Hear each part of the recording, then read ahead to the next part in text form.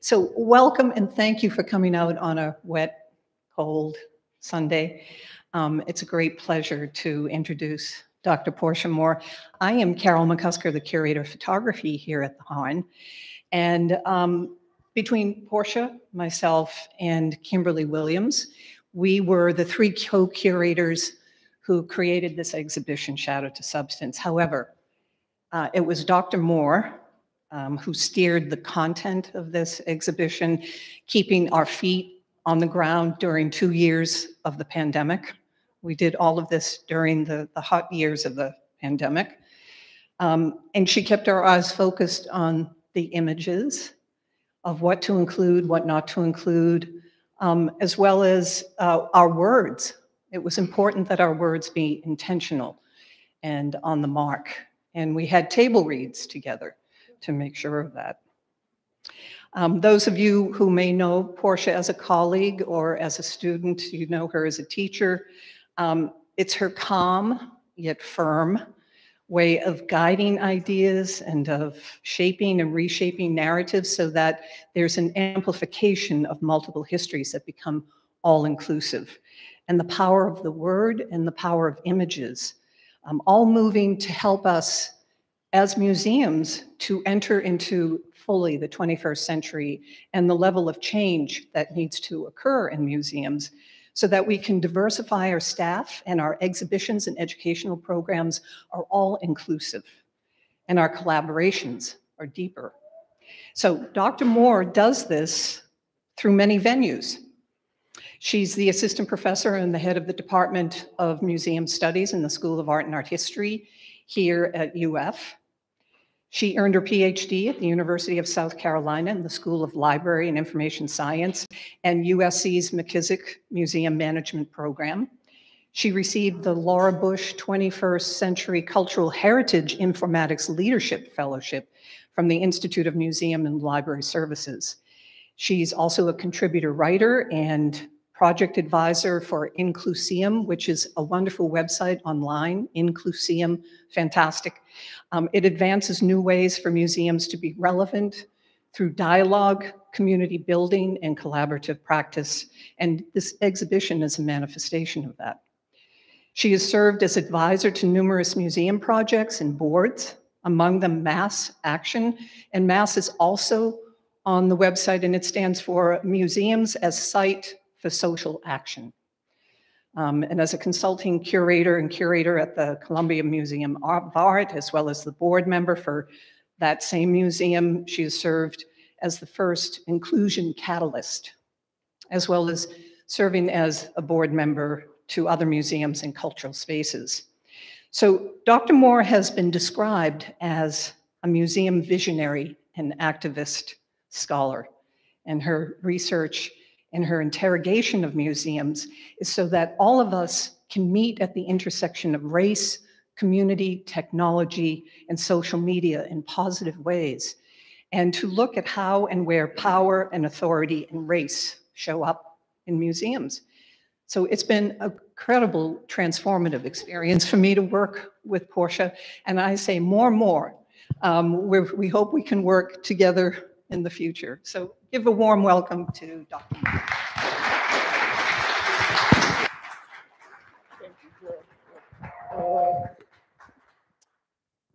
Can everyone hear me?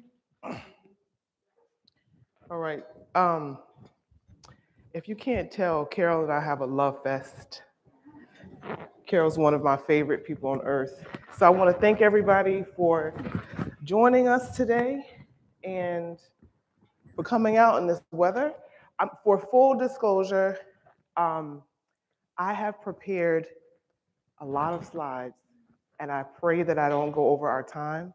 But if we do, I'm willing to stay here until we close to answer any questions. Um, I can be wordy and try to monitor. So the first thing I want to say is thank you to the Harn, the Harn Museum team. And by team, I mean literally everyone from all of the amazing um, guards and docents to the team of Carol McCusker, Eric Siegel, and Leanne Chesterfield. um, especially because of all of the support in helping us to make this exhibition possible. Also want to say happy Black History slash Black Futures Month. Yay! and I, I don't I don't think that this was planned, was it, Eric? We didn't really plan this to be like a Black History Month talk, so that feels like a bonus. Um,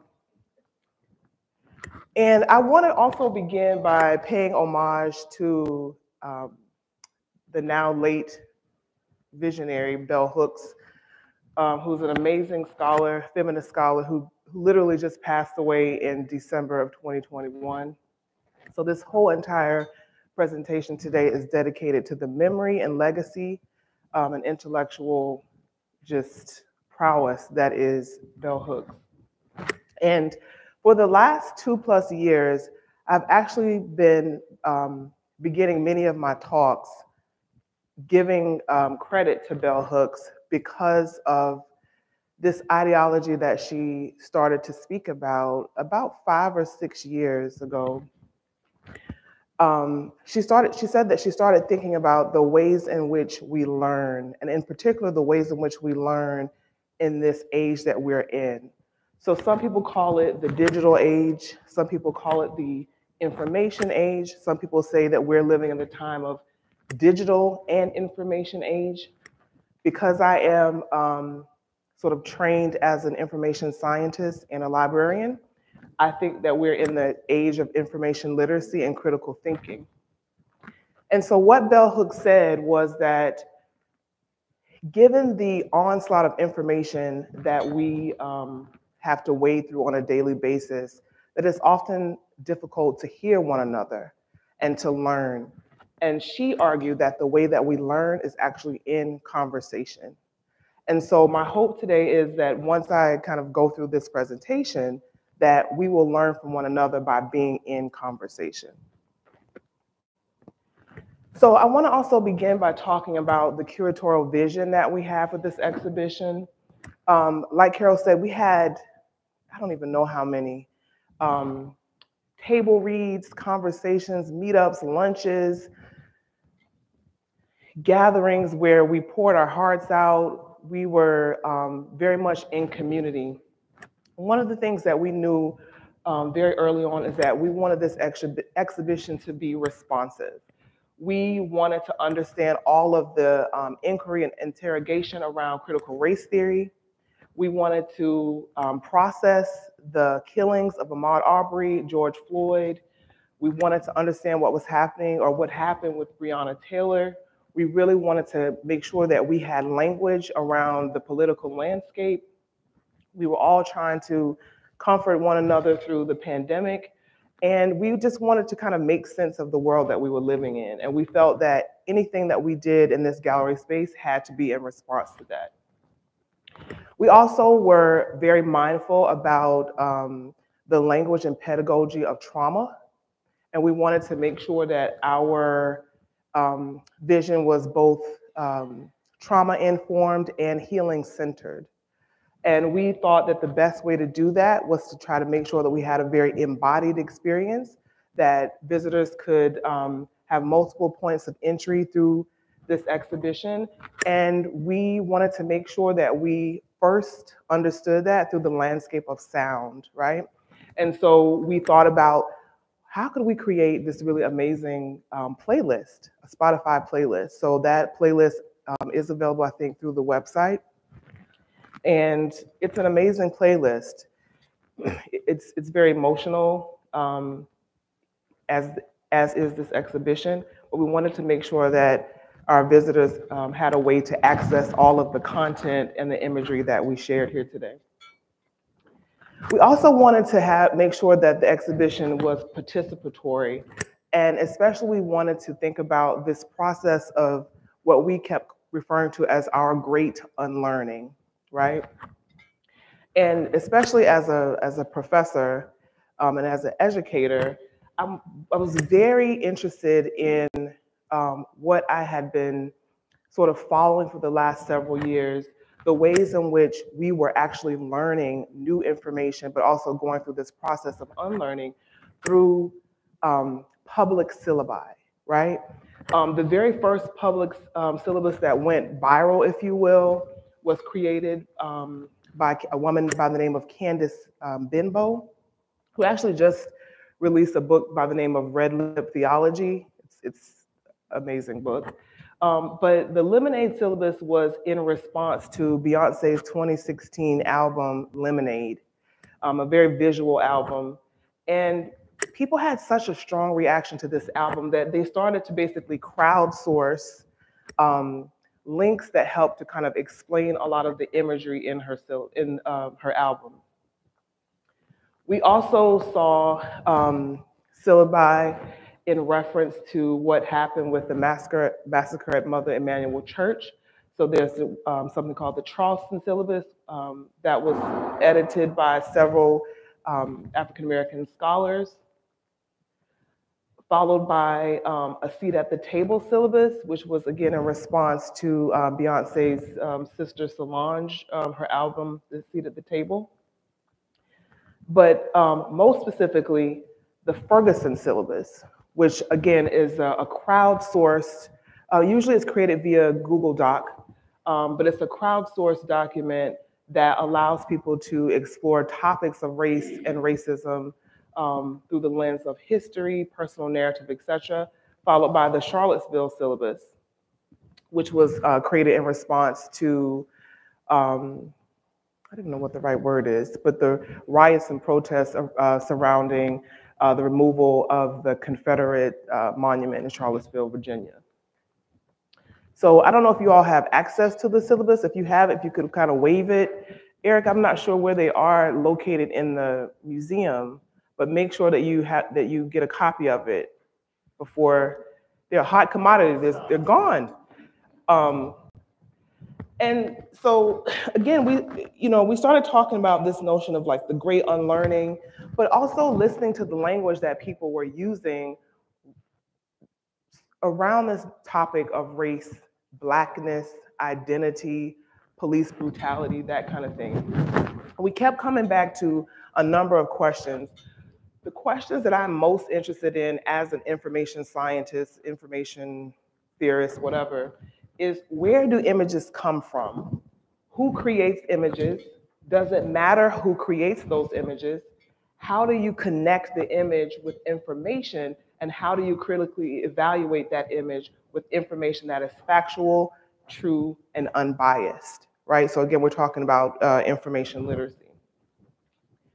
So, I want you to look at these two images, and I just want everybody to shout out who's this person in the first photograph? Rosa Parks, second photograph. Okay, so everybody automatically knows who those folks are. Anybody want to kind of give out a really quick summary of what they did? Why do we know them? There's no wrong answer.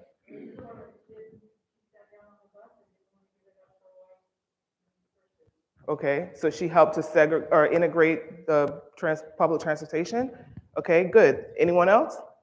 Martin Luther King, what did he do? Okay. Okay. So I want, so I, I begin with these two figures because they're historic, iconic figures, right? Sort of, sort of um, burned into our American psyche in terms of thinking about civil rights, uh, imagery associated and connected to civil rights. And now I want you to tell me who is this? Trayvon Martin. And so, what do you know about Trayvon Martin? Okay, he was murdered. Why was he murdered? Does he have what?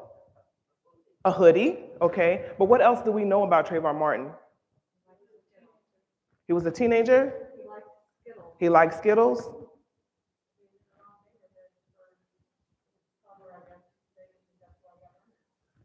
Okay, anybody have any other comments? Okay, who's this person right here, this first image? I think I heard somebody say it. Yes, Elijah McCain. What do you know about Elijah McCain? Okay, he was murdered. Why? Walking at night? Okay, raise your hand if you actually know the story of Elijah McClain. Okay, so I'm going, I just Take a look around. I think I had maybe two hands, maybe. So you know this image, perhaps, but raise your hand if you know who both of these folks are. Okay, so I want that to settle in your mind about why, you know, where do we get images from? What is the history and information that we know about the image? What's the narrative? The second image, who is this? Who is it? That's not Breonna Taylor. Who is this? Okay, raise your hand if you know who this is.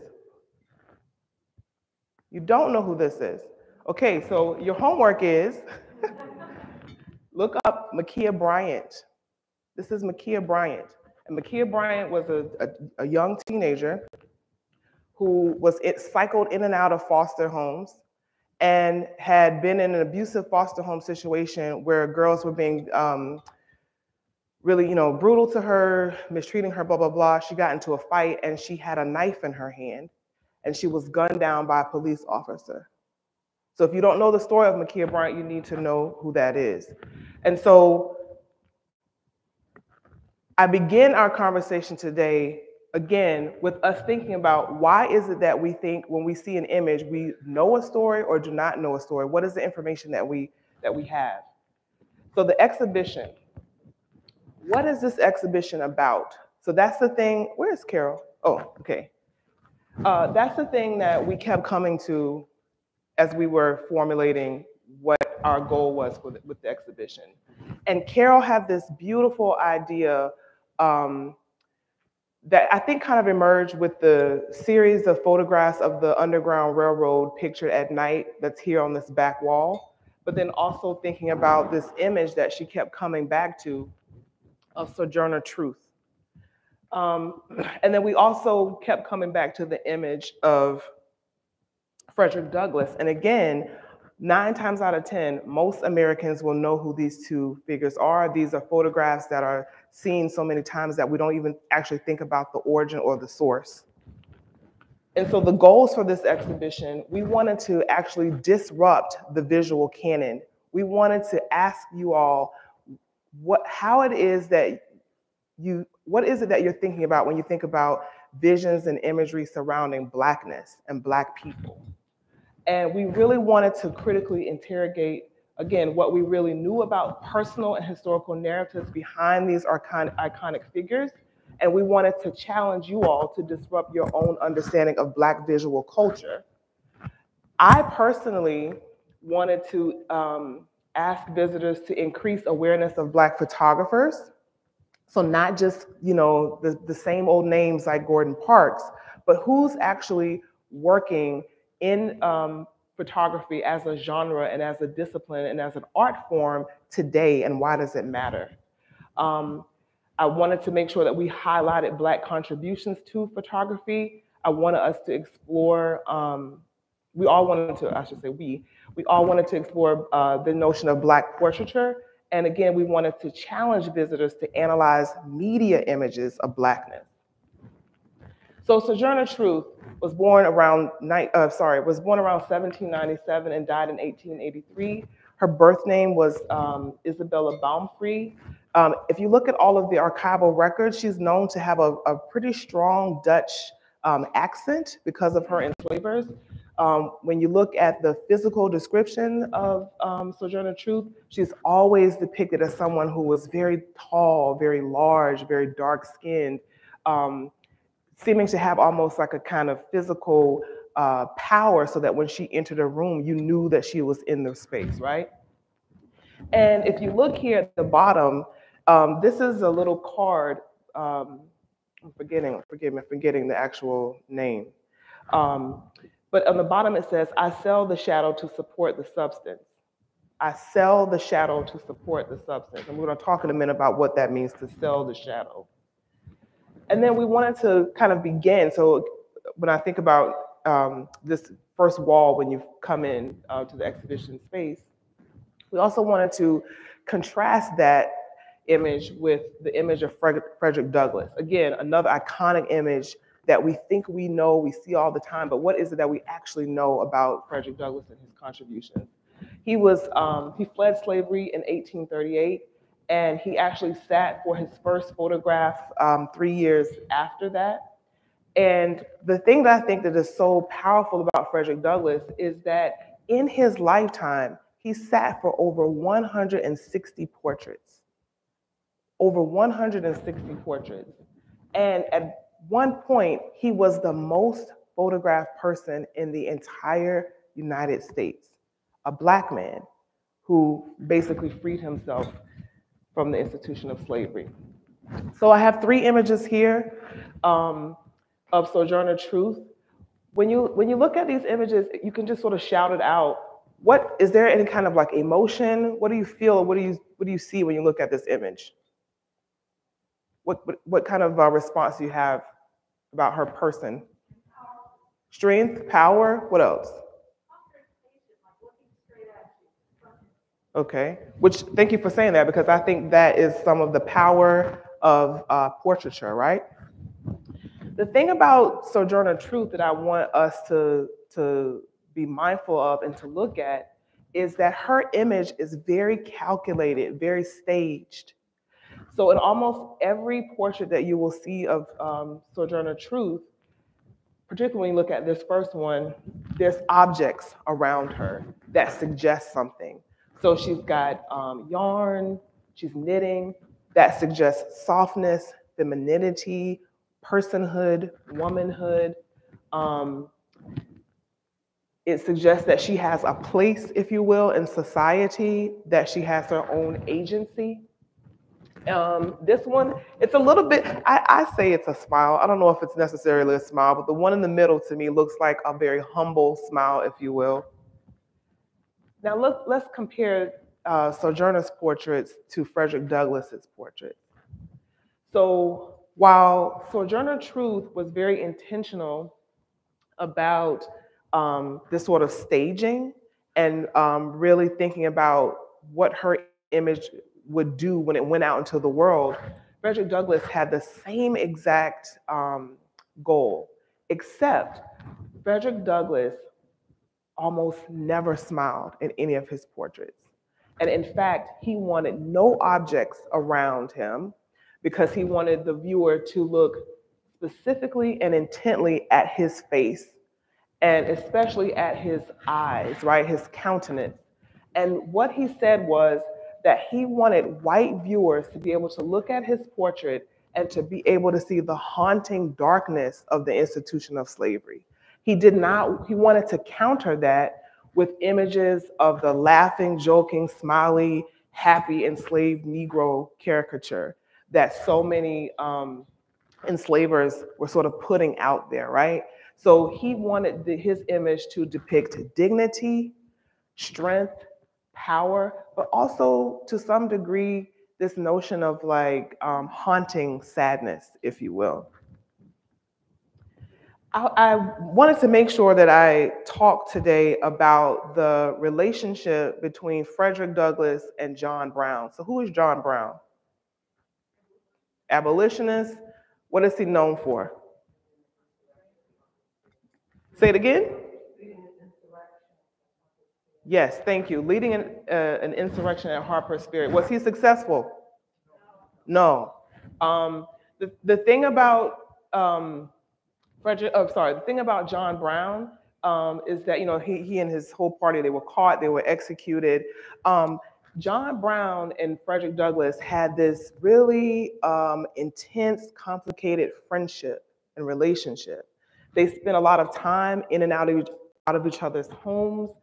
Um, at one point, Frederick Douglass was sort of like a precursor, if you will, to Martin Luther King in terms of his nonviolent stance on how um, enslaved folk would become free, right? So his whole emancipation thought was we're not going to get free until we actually have legislation that makes people free, right? So he was basically like, we can use the vote and we can use politics to um, emancipate.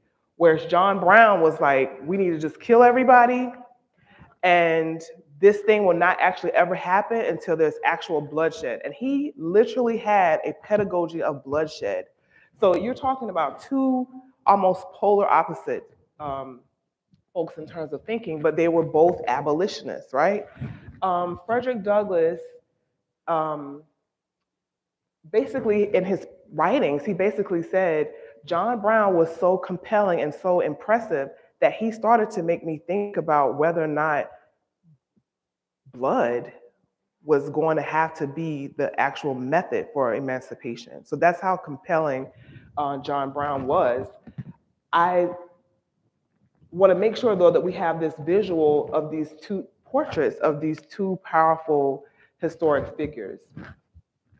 And I say that because Frederick Douglass is known for, you know, giving speeches on this sort of abolition um, trail, if you will, where they went and, you know, had these planned talks all over.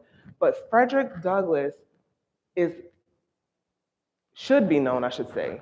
He should be known for this one interesting fact, and that is he penned four speeches about the power of photography in his lifetime.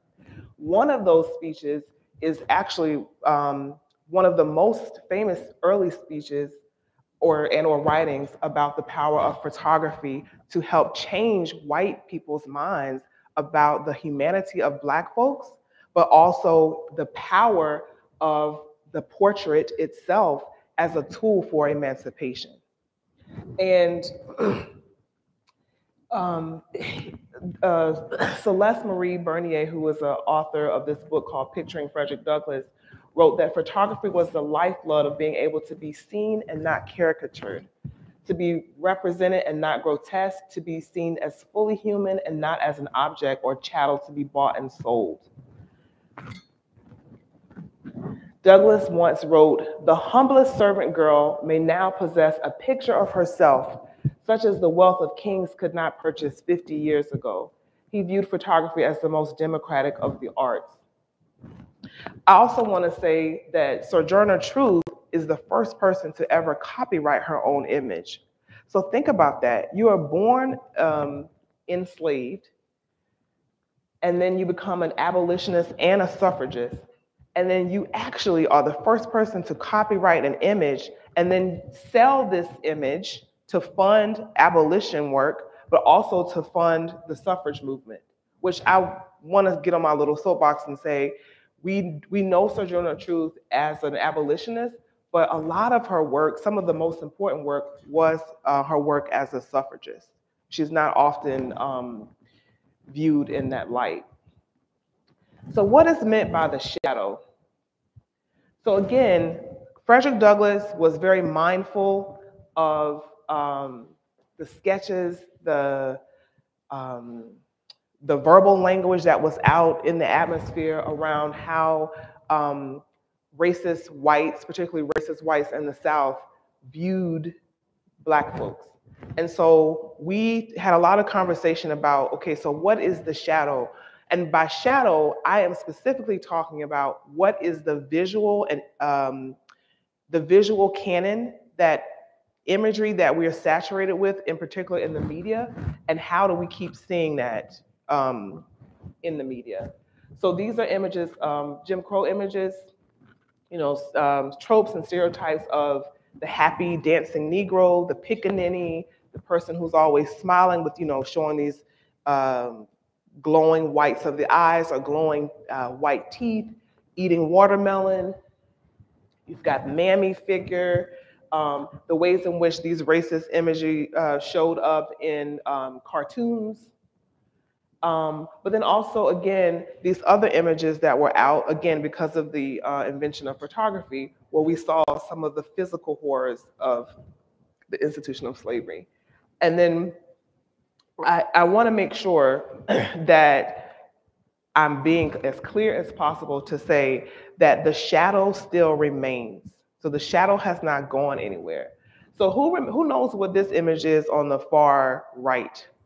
It's blackface, but this one with the person with the sweater, do you know what that incident is? It's a very relevant issue.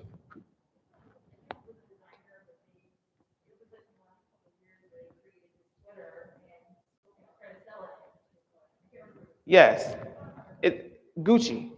So in 2019, uh, 20, early 2020, Gucci got into a lot of trouble because they, I forgot, I think the sweater was like a thousand or two thousand dollars. It was some outrageous price.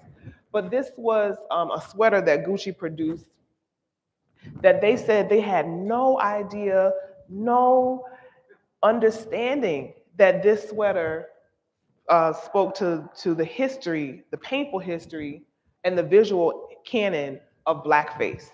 They were like, what do you mean? It's just, you know, it's a funny, interesting sweater that we're selling for like $1,500 or whatever it is.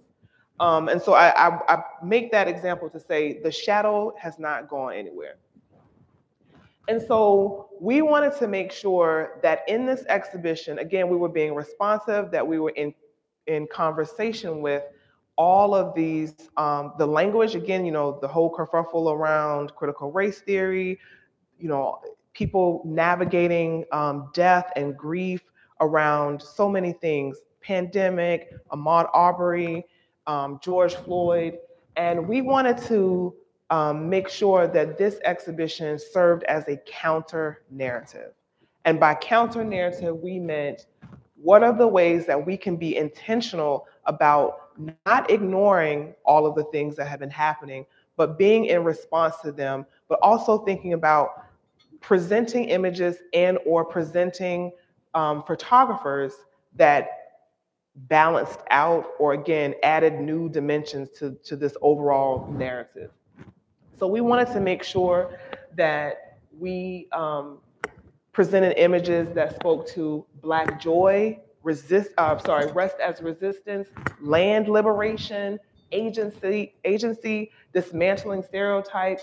We wanted to be able to put images on the wall that spoke to Black death and that spoke to Black grief and have you all question why it is that America seems so hell bent on consuming those things. We are hell bent on consuming Black death and Black grief, and then we are hell bent on um, commenting on quote unquote Black rage, right? So we wanted to be in conversation with that.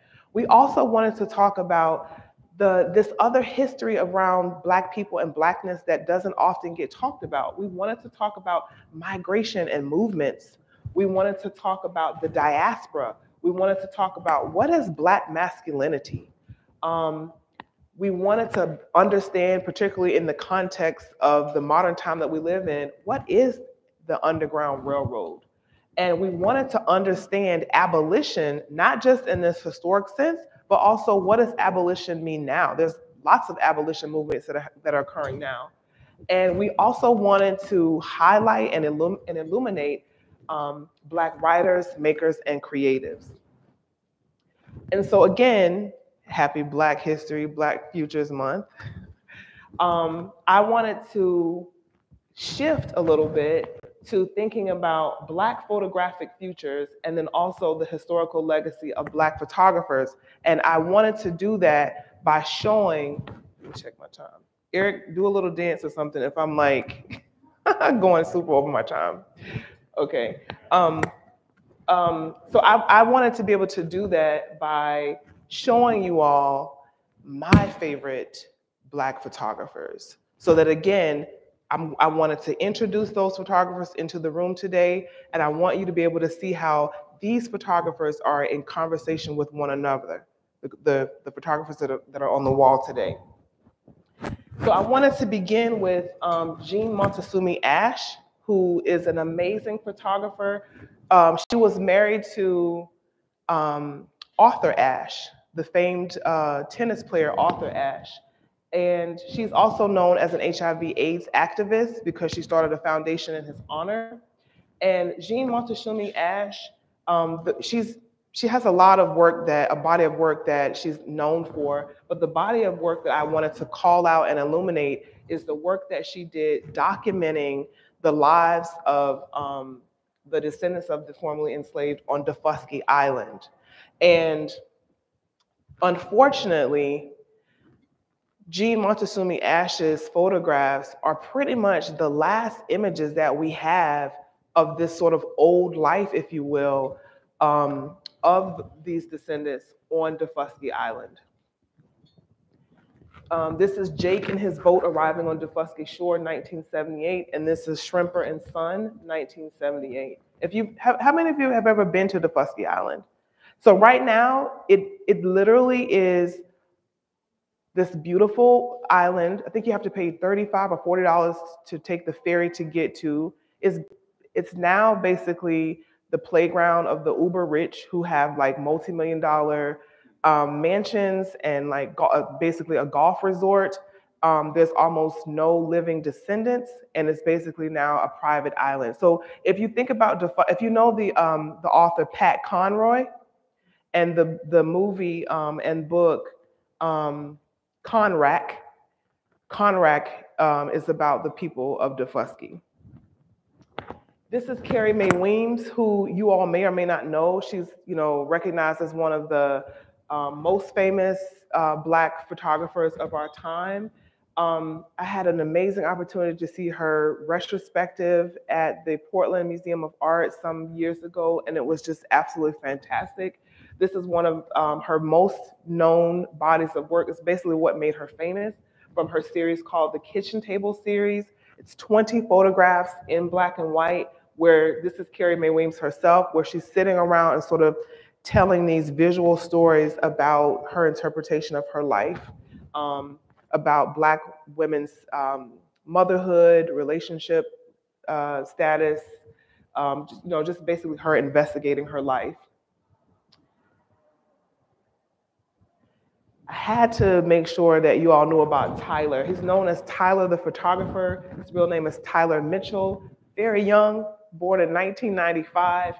Um, Tyler, the photographer, Tyler Mitchell, um, is the first Black photographer um, to work, or not even work for it, but like shoot a cover at Vogue in over a hundred, I think it's a 120 something year history of Vogue. He's, um, at the time, he was 23 years old. Um, he shot the very coveted September issue of Vogue um, depicting Beyonce and um, there was actually two different versions of uh, his cover and he has something um, his his approach and stance to photography is something that he calls the black utopian vision which is basically his um, way of taking these very beautiful nuanced pictures particularly of, of young black youth um, but basically almost not quite Afrofuturistic, but basically him saying the photographs that I'm offering is this beautiful sort of playful world in which Black people um, don't necessarily have to go up against harm. They can just sort of be um, themselves. And he came up with this philosophy because as a young person, um, he had gotten a, a travel scholarship to take photographs for about six weeks or so in Cuba and he took all of these beautiful photographs and footage of Cuban skateboarders and published a book. And he said that um, he grew up sort of looking at these beautiful images that were on Tumblr and saw all these young, happy, joyful white youth. And he just kept thinking to himself, I never see pictures of like happy young black people. Like, where is that? and he basically set out to create that and to center um, this sort of nuanced beauty, if you will. This is the second um, of his Beyonce Vogue co- covers. Um, this first image um, is now part of the permanent collection at the National uh, Portrait Gallery. Um, he had a solo exhibition called I Can Make You Feel Good because, again, he's really concerned about images around joy, personhood, um, future possibilities for young um, youth. I loved, I think these are beautiful photographs. And again, this is from his um, I Can Make You Feel Good exhibition. The other artist that I wanted to um, bring into the room is Zanele Muholi, who's a, a queer South African um, photographer. Um, she's always taking these beautiful photographs um, and there's, you know, there's debate uh, as to whether or not you think it's blackface or, you know, whatever that is. We can have, that could be another conversation. But she's basically countering um, images both of uh, LGBTQI plus life in Africa, like on, on the continent, but also she's questioning who gets to say what is African. That's her biggest question. Who gets to say what is African? Um, they call themselves a visual activist, and pretty much all the work I've almost ever seen of them, with the exception of the work documenting um, queer life in South Africa, is usually a self-portrait of some kind. And this is um, uh, some of the work from their LGBTQI plus series. Gordon Parks. So Gordon Parks again is another one of my favorite um, photographers. I could we can't have any discussion about anybody in this room or on the wall without mentioning Gordon Parks. If you interview all of these people, they will tell you that their inspiration comes from Gordon Parks. Um, this is a you know his very famous image, Children with Doll, 1942. This is colored entrance. This is one of my favorite Gordon Parks images. Um, uh, shot in 1956 in Mobile, Alabama. Um, these are two, this image in particular is an image that I kept coming to over and over. And when I was like in my 20s, learning about, you know, um, figures from like Black national movements, figures, you know, like um, Malcolm X, um, Garvey.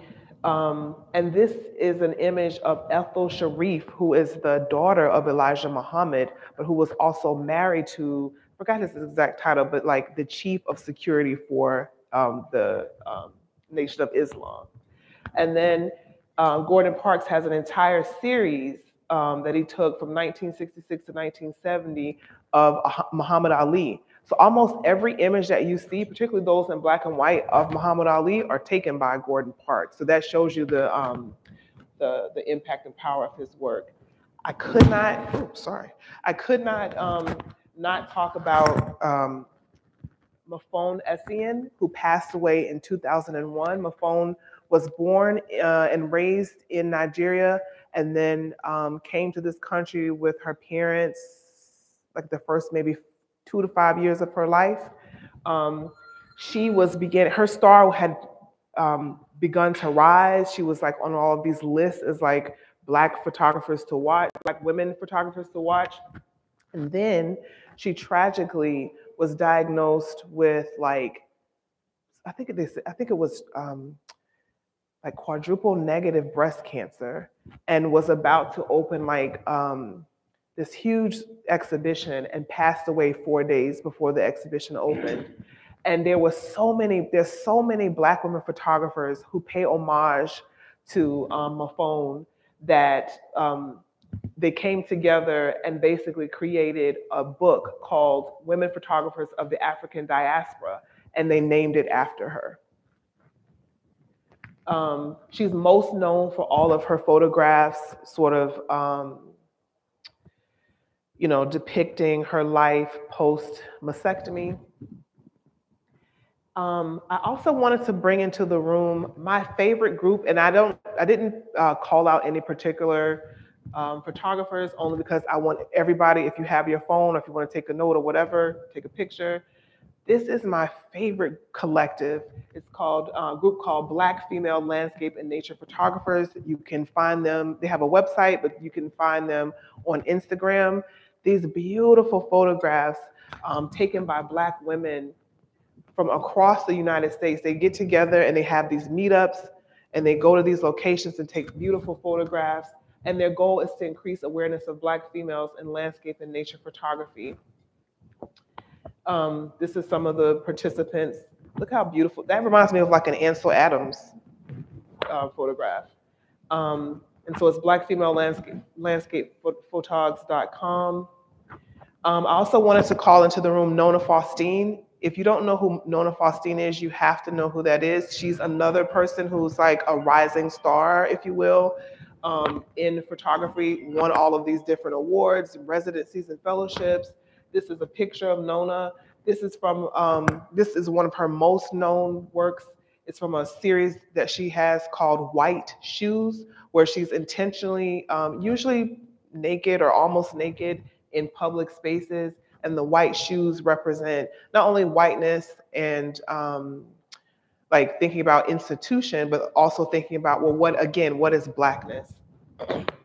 Her, her artist statement is that she is situated inside a photographic tradition while questioning the culture that bred that tradition. My practice walks the line between the part and the present, and my work starts where intersecting identities meet history.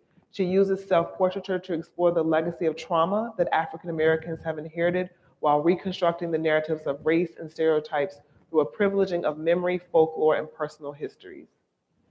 Um, and so you can see the, you know, I'm dating myself, but I had these shoes, you know, like the toddler, what's the right word? But you know, it has the the hard thing on the, you know, you know what I'm saying, on the bottom.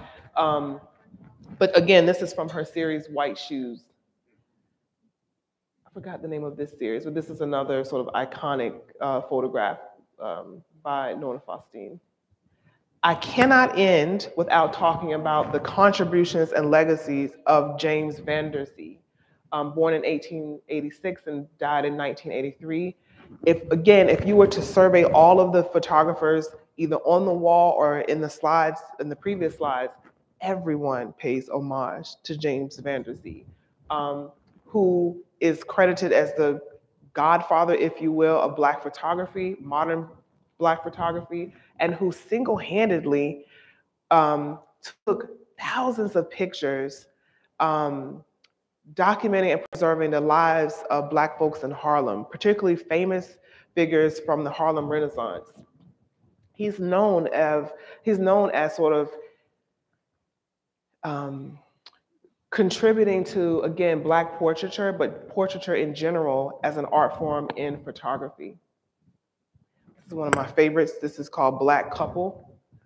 Um, what I think is interesting about James Vanderzee is the trust that he must have had as a photographer because he showed up at birthday parties, everybody's wedding, funerals. This dude was everywhere. Like if you needed somebody to document something, you called James Vanderzee. He had a studio, um, and he was just a, a beloved um, photographer in Harlem. He took a lot of portraits of families, again, individuals, a lot of portraits of couples. The thing also that I think people don't know about, again, is his uh, funerary portraits. And he actually created this sort of genre, if you will, of, of funerary portraits, where he would infuse photographs of, of the person from real, you know, when they were alive, um, montage, if you will, with uh, images you know, the pictures that he took at their funeral, and then sometimes even put across it uh, poems, sometimes original, sometimes not. This is actually a funerary portrait of his daughter, um, Rachel, who died, um, passed away at the age of 15. And so these are some Black photographers who are making or made an enormous impact on the genre and art form of photography. People like Ernest Withers, who some people don't want to talk about Ernest Withers because Ernest Withers took some of the best, most incredible photographs of the civil rights movement, particularly those of Martin Luther King. But due to the um, the Public Information um, Act, it was discovered that um, Ernest Withers was actually an FBI informant. And so people, he, his daughter actually is on record as saying that he had three cameras with him at all times one camera that he basically sent the film to like white press, white media, another camera that he sent the film to like black press and black media, and another camera that he kept for his personal archive. And so if you look at his body of work, it's absolutely stunning. But yeah, he was an FBI informant. Um, Roy DeCarava, Lorna Simpson, which, okay, uh, Lorna Simpson, um, which, anyway, um, John W. Mosley, Richard Samuel Roberts, Deana Lawson, Dawood Bey, Ronnie Nicole Smith, and Michaela Pilar Brown. So now, what I would like for you all to do, if you haven't, is to walk um, through the gallery, and then I will be here to add to answer any questions that you might have about any specific uh, pieces of work. And then I, I do kind of want to call out a couple, but I'll wait until you all come back. Oh, the last thing I want to say these are the questions that we had. What is blackness? What does race mean in this era? Does it even matter? How do images hinder or help our understanding of blackness and black people and of ourselves? Do we have the language to capture what is going on in the world socially and politically? What movements, ideas, figures, or actions are happening right now that can help us process these times? Is Blackness defined by whiteness? What about the diaspora? What do we know about race, racism, Blackness through exploring other identities such as gender, age, socioeconomic, background? What can we learn from Black photographer, photographers about Blackness and Black people? And what are we missing about the knowledge that we have about what we know and how do we know it? So those are the questions that I want you to think about as you wander the gallery.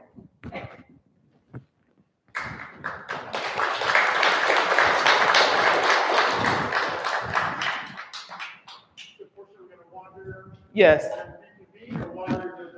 Wander and then reconvene, I think is might be easier. Five, let's do five minutes of wandering and the rest Q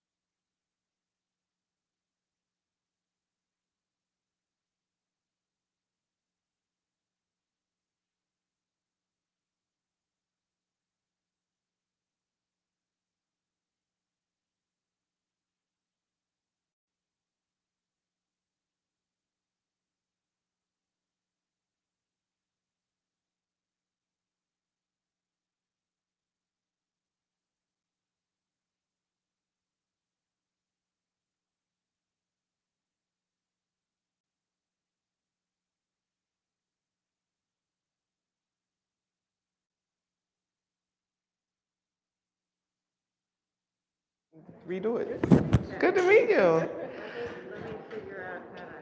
So um, I I know some of I know some folks are still looking.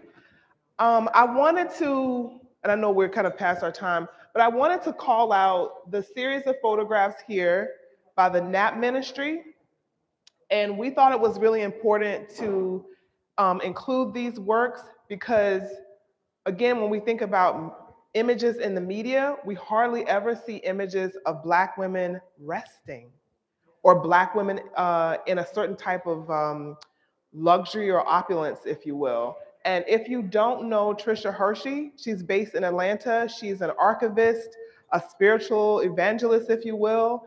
She talks to corporations around the world about the need for rest and how rest is a way for um, everyone to dream, but for particularly for Black people to dream as a kind of um, and, and reimagine their experience as a kind of reparations.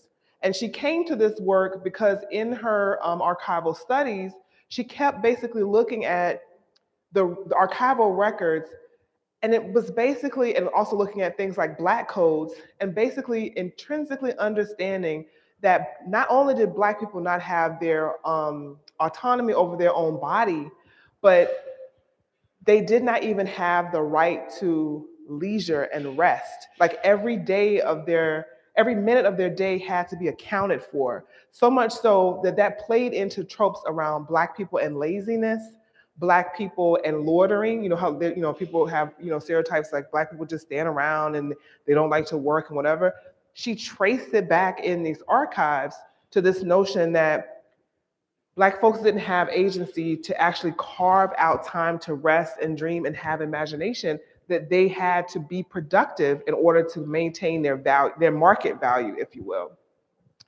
um, right here in this middle section and carol if you want to talk any, if you want to say anything about this, please feel free.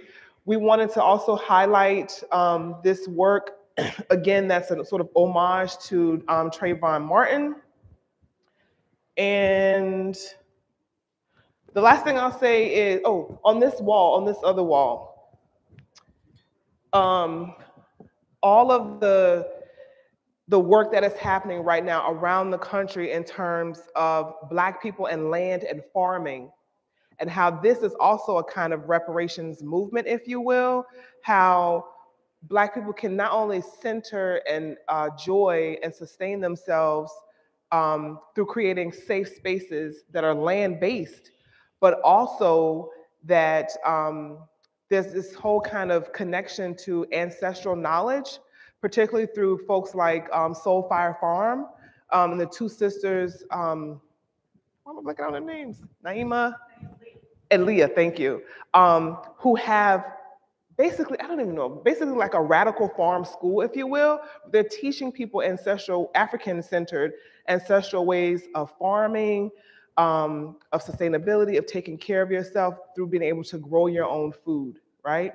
So I just want to make sure that I highlight those works. And if anybody has any questions for me, I'm, I'm happy now to answer any questions. And thank you again for coming.